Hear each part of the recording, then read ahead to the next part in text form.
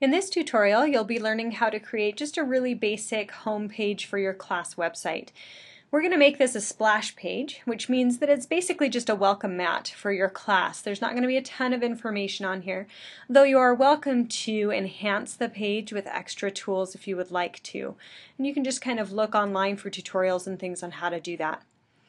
So we're just going to go through the process of adding some text and adding a graphic to this page so you can see how some of the basic tools work. When you first set up your site, it defaults to being in edit mode of your website so you could type directly. I've since gone out, so I'm going to need to go back into edit mode. That means I need to click on this little pencil icon up here in the top right area. As you can see, that loads the editor and it looks a lot like just a basic word processing document. So nothing too strange here. You can begin by simply typing Welcome to our wonderful class site. You can center that text. You can bold it. You can change the font. Everything that you can do on a normal uh, word processing document, I mean, as far as basic things go, you can do on this site as well. So you can change the font type, the font size, the style of the font, etc. So that's really, really basic. I'm going to hit enter a couple of times and I'm going to go ahead and stick in a, a graphic. So anytime I want to put something in my site, I'm going to use the insert menu right up here in the top left corner. So I'm going to click insert and in this case I'm going to choose image. I just want something really basic here. So I can add one by web address. I generally don't do that because if that web address changes, then my picture is broken, my site doesn't look right. So I really want to use images that I have stored on my computer. So I'm going to choose a file.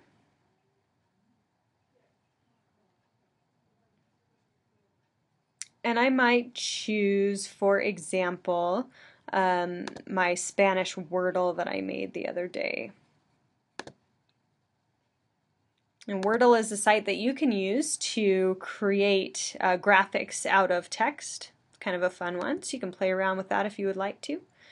And as you can see, once that graphic appears, I can left justify it, center, right. I can make it small or the original size or somewhere in between.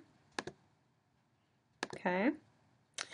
Um, I can also wrap text around it. So this is particularly useful. Let's see, if I made this a smaller graphic and I turn on my wrap text, then I can come here to the side of it and type right next to it. Okay, so that's kind of nice, um, and we'll play with that some more on the About Me page when we go about making that. I'm going to put this back simply by clicking on it, put that back to its original size. And I'm going to turn off the wrap text because I want the page to just align really nicely here. All right, that's really all you need on the front page. If Again, if you want to add more content, you're welcome to, but for this particular assignment, I'm not going to require it. So I'm going to do a really quick review. hit the X to remove this graphic. I'm going to delete this text. I'm not panicking that things are deleting on my page. I'm going to go through it one more time. So I can type my text. I can highlight it and change the style, the font, the size, the alignment, etc. Then I go to Insert, choose Image, and then I've already uploaded this one so it's here, but if you need to, you go to Choose File and upload your file and click OK.